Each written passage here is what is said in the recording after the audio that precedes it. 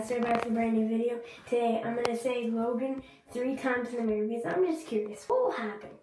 Ready? Logan, Logan, Lo- Logan, Logan.